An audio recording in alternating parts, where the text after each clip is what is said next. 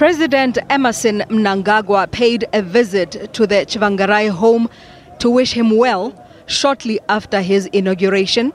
Mnangagwa says the MDCT leader will be remembered for reaching across the political divide to form a government of national unity following the country's polarizing 2008 elections.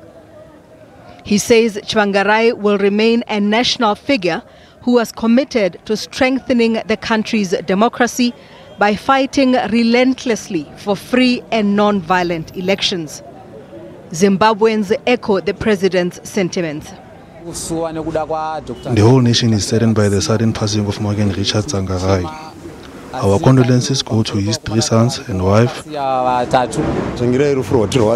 death of Morgan Tsvangirai has pained us heavily. We went far with him. We always believed he was the man to raise Zimbabwe up. The demise of um, uh, Dr. Morgan Tsvangirai, uh, the MDC leader and former Prime Minister of the Republic of Zimbabwe, It's a sad occasion for the people of Zimbabwe. It's a huge loss to the people of Zimbabwe. Nangagwa will hold a one-day consultative meeting with political leaders to cultivate peaceful political contestation for the upcoming 2018 elections in honor of Morgan Chivangarai. Ntakwana SABC News.